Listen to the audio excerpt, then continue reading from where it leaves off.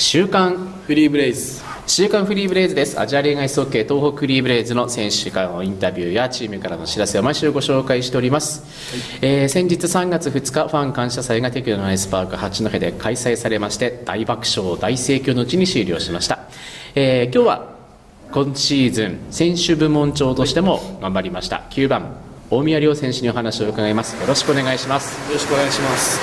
ファン感お疲れ様でした。お疲れ様です。ありがとうございます。まずまあちょっと日にち経ちましたが、はい。率直に手応えいかがでしたか？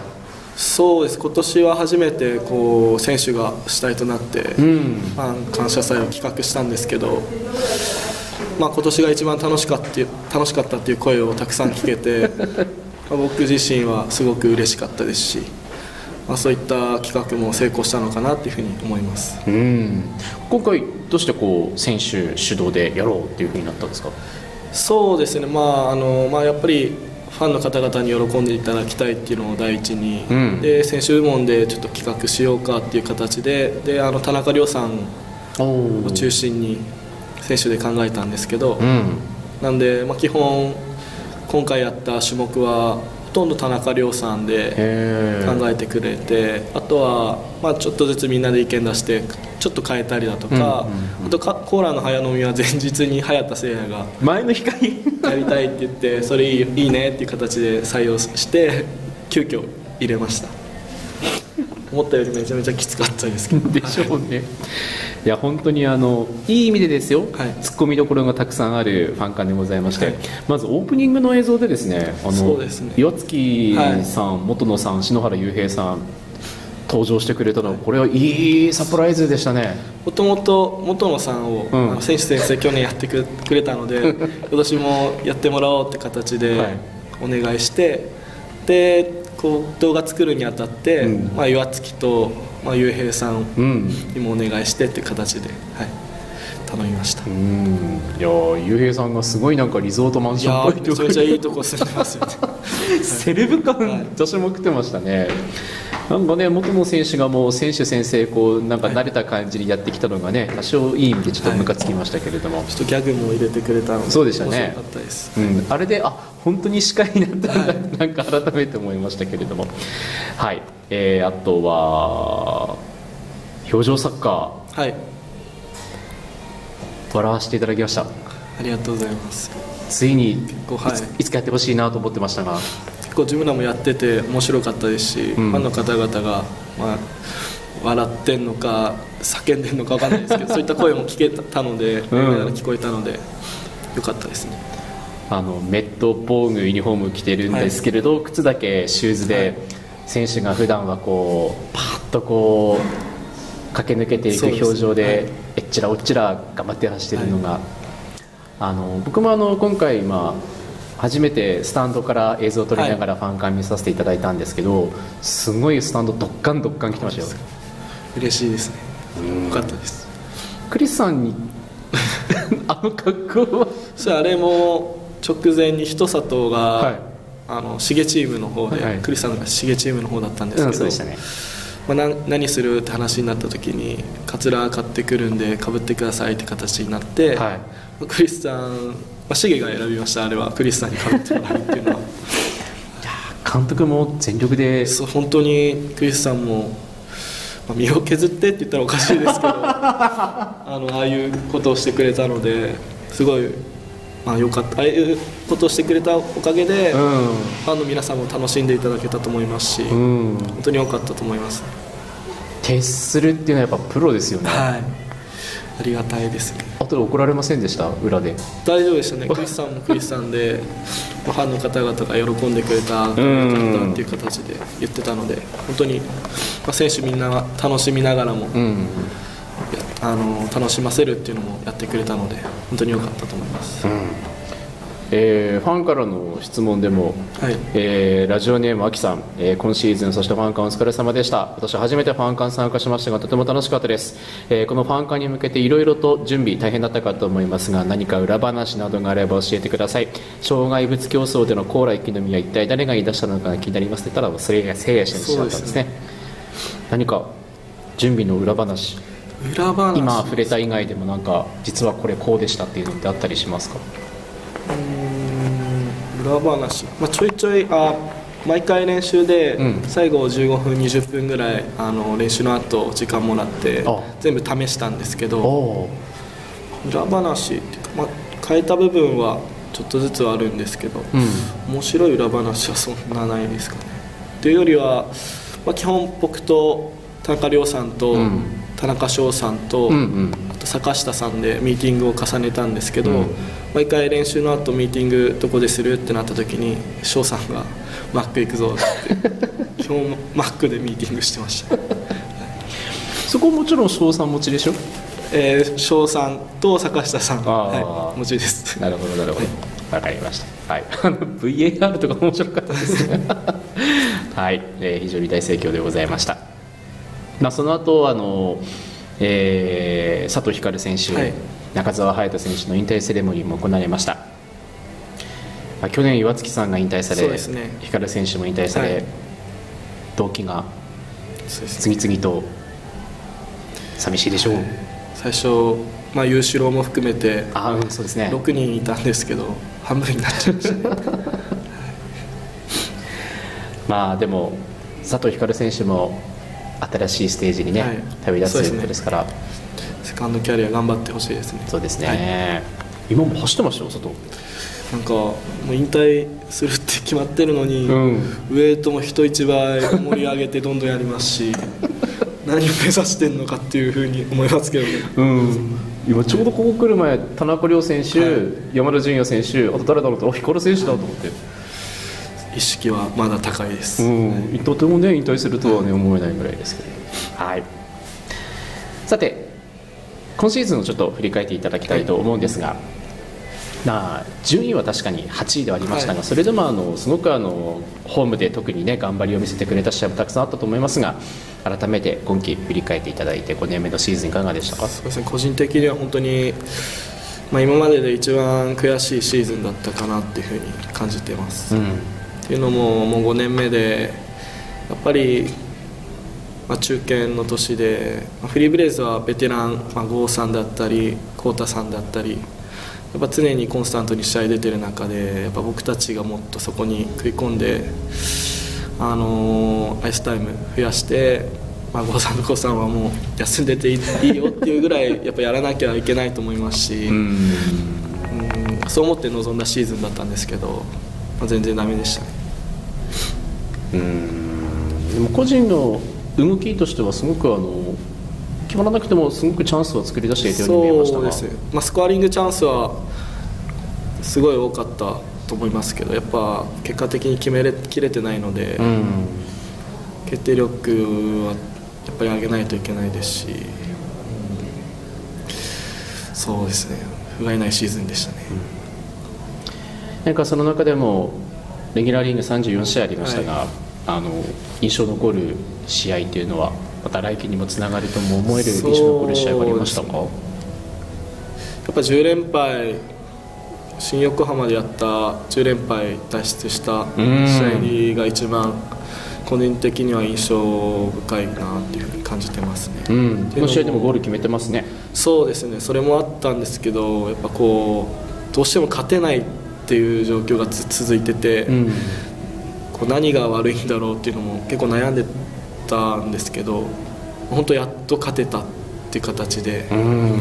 あの時はもう本当優勝したんじゃないかぐらい みんなあの一勝にあの勝ったことで喜んでましたし、ん。控室でも喜びと同時にこう安心っていうか、うん。やっと勝てたって形だったのですごい印象深いですね。今季体験したこと学んだこと味わった悔しさ、これぜひ来季というかもう今からにつなげてほしいですね。はい、もう本当練習するしかないと思うので。うん。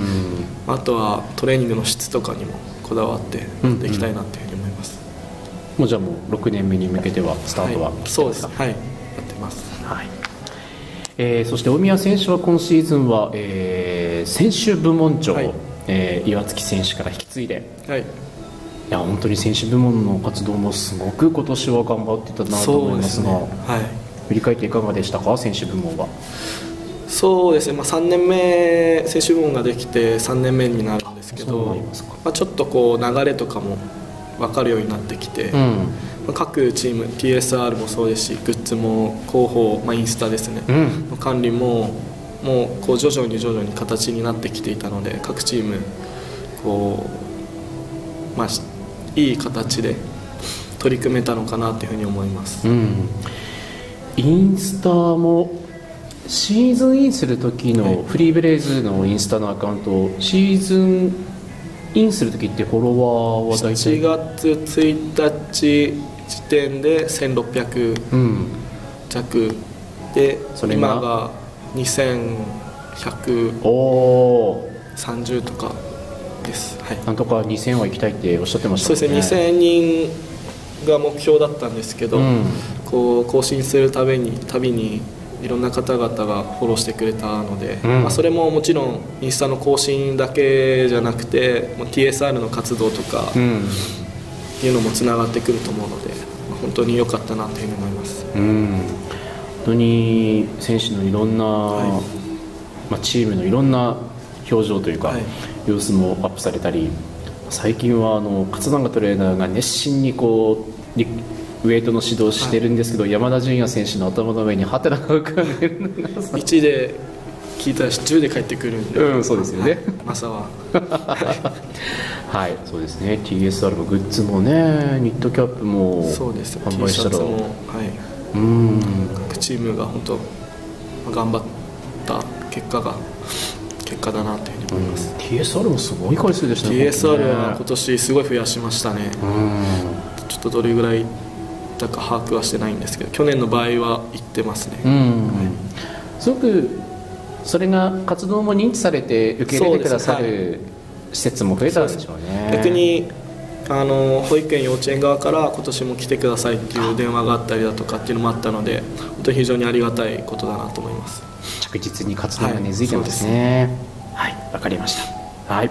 なんかこ、まあ、来年は多分まあどうなるかまだわからないと思いますけれども、まあ、今年やりきれなかったことでも構いませんしもし来期こんなこともやってみたいなやれたらなっていう構想妄想段階でもいいですけど何かあります？そうですね。あのチームとかはそのままではいくと思うんですけど多分グッズでどういうグッズを出すとか、うん。グッズが一番こう今までとはちょっと違う形で、うんうんうん。まあ、何を作るかっていうのを考えてくれると思うので、うん。そこは皆さんぜひ期待していただきたいなと思いますけど。なるほど。他の部分ではそうですねまだはい、まだ決まってないっていうかこれからこう報告書を作って報告書作るんですね。来期に向けてはあ。こうより良い、はい、活動をしていくためにうん。まとめていきたいなというふうに思ってます。じゃあしっかり今期の取り組みをじゃあ検証してからということですね。わ、かりました。はいさて、えーフリーブレイズは今週が、えー、と 3on3 ですね、はい。子供たちをいろんなチームも混ぜこぜにしての 3on3 になったり、えー今月はあとはスポンサー様向けの報告会などもあり、はい。えー下旬にはアイスホッケーヒーローズ、はい。えー東伏見で、えー開催されますがこれもじゃあ参加予定はいですかね、参加予定でうす、ん。まあいろいろホッケー界ははい。大変なニュースもある中ではありますが画期的な企画だと思うのでいいイベントになってほしいですね。そうですね。本当東京とかで試合することってなかなかないのでうん。そういった意味でもいろんな方々にアイスホッケーを見てもらえたらなというふうに思いますね。うん。はい。ぜひ、えー春休み利用して八戸からでも足を運んでいただきたいと思います、はい。そして日本代表の世界選手権がまた4月にあるわけで、えーここまでこの間の、えー2月のユーロはい。チャレンジにも、えー参加してました大宮選手ですがこれフル代表での世界選手権出られるとなれば初めて。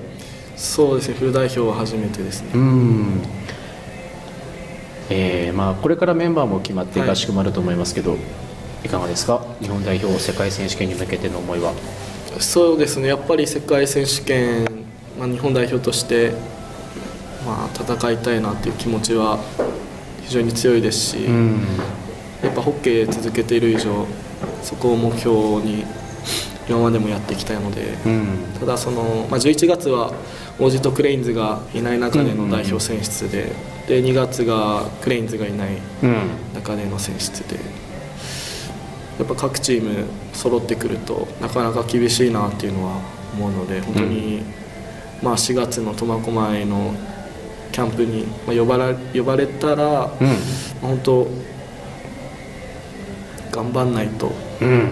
選ばれることはないと思うので、はい、アピールできるように、まあ、いい準備をして臨みたいなというふうに思います。うん11月のねヨーロッパ遠征でもいい時間帯でゴール決めてくれてましたし。そうですね。ただその後また呼んでもらった時に全然良くなかったので。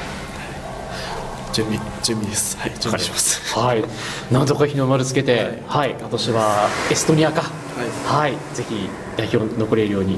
はい、楽しみにしてます。頑張ってください、頑張ります。はい。はい。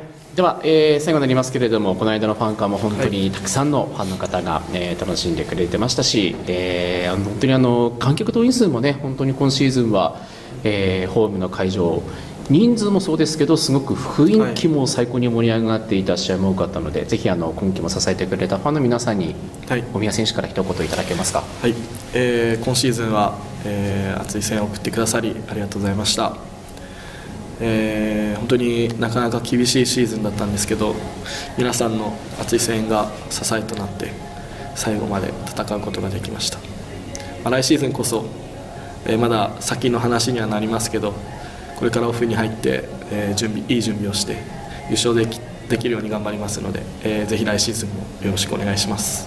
はい、じゃあオンアイスはもちろんオフアイスの活躍活動も楽しみにしてます。ということで今週の週刊フリーブレイズ背番号9大宮亮選手に伺いました。ありがとうございました。ありがとうございました